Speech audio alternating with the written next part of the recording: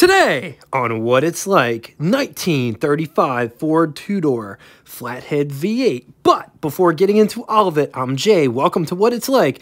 If you just stumbled upon this channel for the very first time, let me tell you, you've hit the proverbial jackpot. We dive in deep on the lost and forgotten classics vintage, some exotics, way more than walking around a car with music, specs, period ads, and we show what these cars are like. If that sounds like a channel that you would totally dig, subscribe and hit the bell icon next to it to never miss a video. If you're in the market or looking for a 1935 Ford two-door, you're in luck. This fine example is currently for sale at Classic Auto Mall. For more information pertaining to this very car, click the link below after the show. 1935 Ford was offered in two trim lines, Standard and Deluxe. And here's the confusing part, Model 48, which was code for Standard. And the fancier way of saying Deluxe was Model 68. The code names sorry, model names of 48 and 68 lasted until 1936. Differences between the standard and the deluxe. Standard features included single horn, single taillight, and one sun visor. Wide wale Bedford cord upholstery, except for coupe with rumble seat. Rubber floor mat in the front and rear compartments. Armrests in the rear seat. Hardware in a satin finish Instrument panel included speedometer, amp meter, gasoline gauge. Other creature comforts included cigar lighter and glove box, welded all steel body and safety glass all around. The Deluxe had all of what was just previously mentioned, plus twin matched horns, twin matched taillights. The following is all chrome plated, windshield frame, instrument panel, steering wheel, window moldings. The hardware is taupe colored to match the upholstery. Ashtray, left front door armrest, rope rail, mohair or pinstripe broadcloth for closed models, and genuine leather for open models and Phaetons. Let's talk design. 1935 was freshened up. Let's compare the two. 1934 is on the top, 1935 on the bottom. So looking at the front, the 35 has more of a satin finish. The 34 has stainless or chrome that just pops more, just saying. Satin isn't a bad thing. Ford opted for wider grille in 1935. Bumpers have been revised has two lines in the center instead of one. To really see the change in design, I wish I could find these at the same angle, but this is close enough. Front quarter section, the 35 grill is just slanted, almost looks Citroen-like. Can you see it too? Fenders look thicker on the 35. Hood louvers have been revised. Headlights and horns are different, moving to the side profile. Better look at the headlights, half chrome, half painted. Better look at the louver situation. Look at how much thicker the fenders look on the 35. The 35 also looks curvier than the 34. Moving to the rear in the rear quarter section, from this angle, the fenders look more sculpted on the 35. Also, don't appear to be as wide either. Roof still has that roof line. 35 has a built-in trunk region. Was that the first time Ford offered that?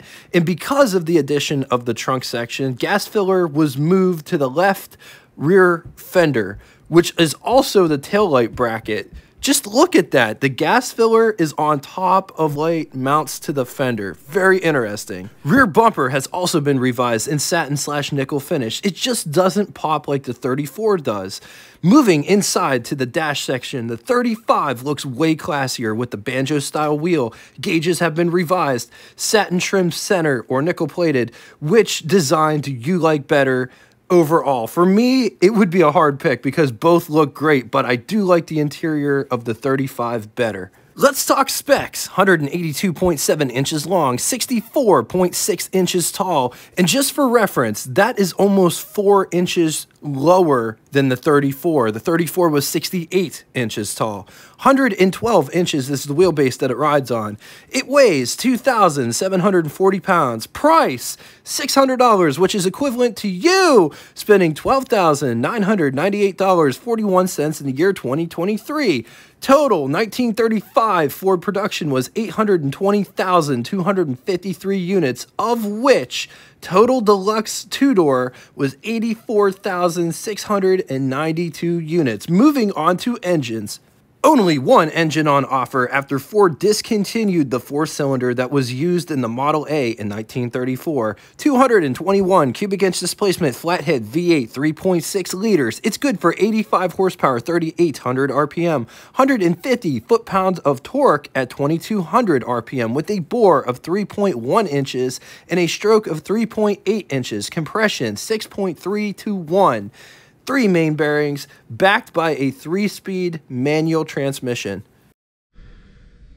Let's talk styling. I absolutely love this front end design. Let's start with the bumpers. Look at how it has this painted section inside here to differentiate the color, which I really love. How it comes down here, up into a point, there is a hole here and I do believe that's where the crank would go if you wanted to crank start this or hand start it I should say. These look aftermarket. And notice whatever is going on on this side is also on this side. So running lights and or turn signals I think these are turn signals but they didn't put turn signals on cars in 1935 1939 was the very first year for turn signals so these are aftermarket fog lights and or accessory lights horn headlights. Look at this. Nice v8 badging there with the greyhound on top. I love how the grill is designed. Coming back over here this is very reminiscent of a car that would be more expensive than this. Like, remember the 36 Cadillac? Very similar. Notice here, there isn't a point, but coming up just a wee bit, it's pointed. Love these fenders. Look at the design and the shape of these fenders. I absolutely love these lines in here.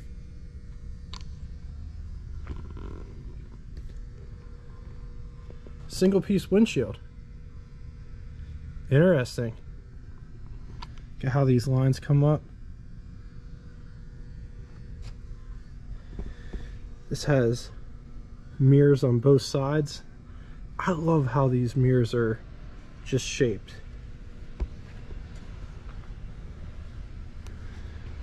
Look at the drip rail. Actually, this car does not have a drip rail. Look, it's just an edge. It's just flared out.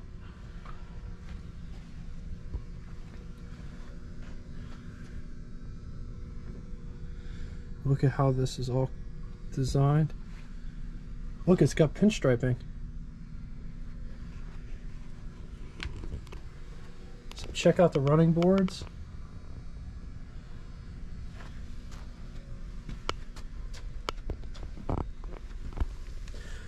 This light almost looks like a horse or a donkey foot or leg. This is the foot part or the hoof, and that's the leg. Bumpers in the back that match the front. They're uh, painted in here black to differentiate the chrome and black. Very nice touch. Spare tire, which is inside this case. Coming to the door handle, look at the door handle design. I don't think that that would be very safe if you got in a car accident, but it's very interesting. Here's what the door looks like. Even got some textures. That's how thick the door is.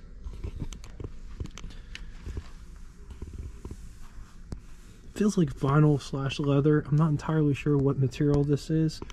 It's got this cloth material that goes around the uh, window itself. Notice the window's dished. Armrest. Door handle to get out. Window crank for the big window. Operates like this.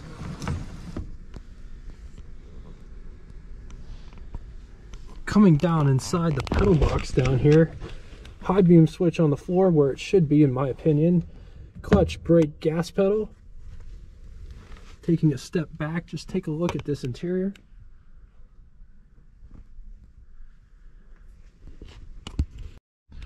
Here's what over the hood impression looks like. Here's what first person over the hood looks like. On to the button switches and knobs starting on the left and moving right. Oil gasoline gauge, speedometer in the center with odometer and trip inside of it, coolant temperature, amp meter, hand throttle, lighter, choke. That handle is for the crank out windshield. Up above, there are some sun visors. This looks like the windshield windshield wiper motor control. There is a nice sun visor over here for the passenger rear view mirror.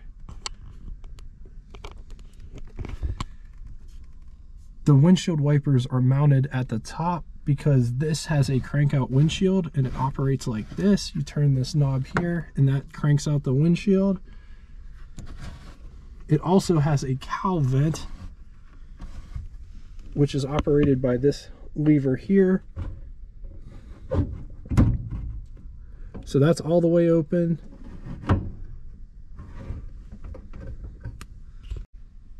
This one also has the key locking cylinder to lock the steering wheel from moving. One way turns on the lights and the other way turns on the high beams. On to the glove box test. There is our test subject. Here is my hand for reference. Here is the glove box in question.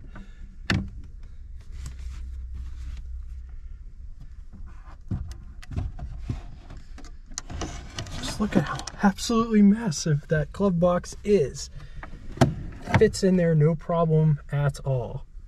But this one doesn't have a lock on it. Some of them do, this one doesn't. Getting into the rear.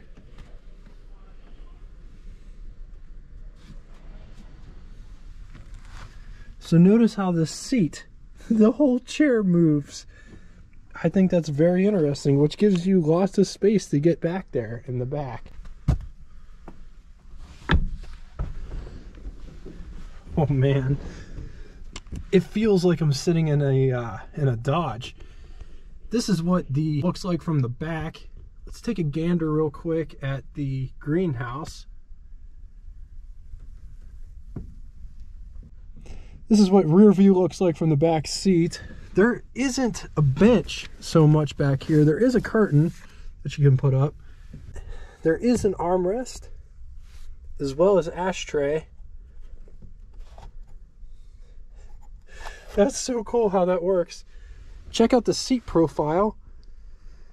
It's rather upright. Seat doesn't dip down nearly as far in the back as they do for a lot of Fords but it's actually kind of comfortable back here because of your legroom situation. Like, look at that. That's from my forearm to my fingers. There's at least a foot and a half of space. Tons of space back here. Everything that's found on the passenger side is also found on the driver's side. Armrest, window crank for the window this is a big window. Look at that window. Dome light. And look, it's recessed. Recessed dome light. I lied. There isn't an ashtray on this side. There's an ashtray over here. So there's only one ashtray. It operates like this. That's so cool. There's also only one grab rope to hold on to. This is what I look like in the back seat. I got tons of headroom. This is the most spacious Ford from this era or any era that I have ever been in. It feels like I'm in a Dodge because Dodges have this much space. This is incredible. So if you're looking for a car to haul your family around in, 1935 Ford is a really good contender getting under the hood. So check this out. So these work by pushing down on them, but notice you only have to push down on the ends and you have to push down pretty hard. So this side you push down and up here you push down. So just see how this catches right there. It's got an Auga horn.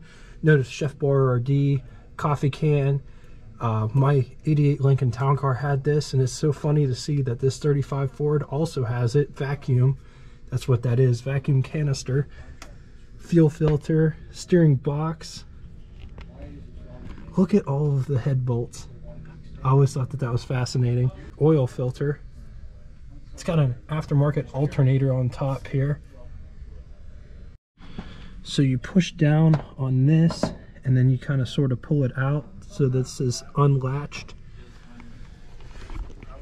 See this side is also unlatched and then you just pull it up.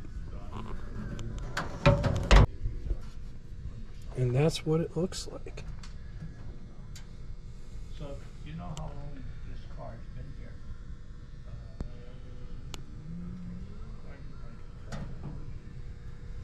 Exactly. So putting it back down.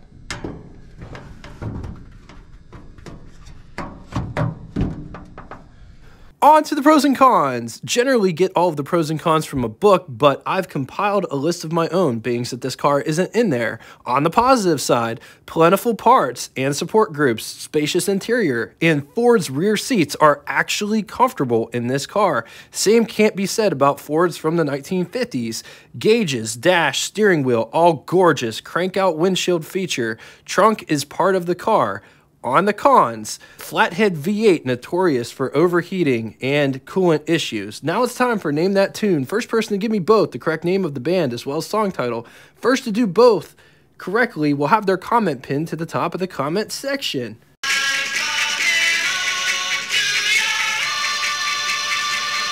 If you've never heard that song, after somebody gets it, I will post a link in the description.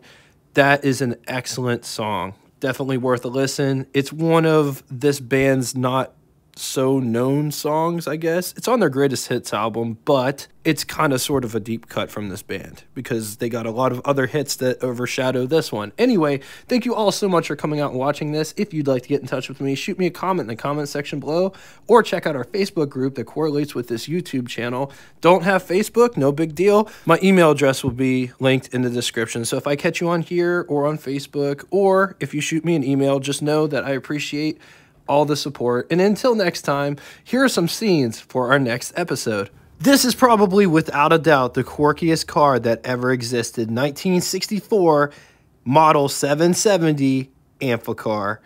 I can't wait to showcase this one. In fact, if you guys have one of these, shoot me an email or shoot me a comment. I would love to see one of these in action this year. I just didn't want to miss the opportunity to review this car because they're super rare. They're getting harder and harder to find. That's what's next on What It's Like. Tune in Monday at 4:30 Eastern Standard Time to see that episode. And until then, toodaloo! If I were a rich man, a very, very, very, very, very, very, very, very dog.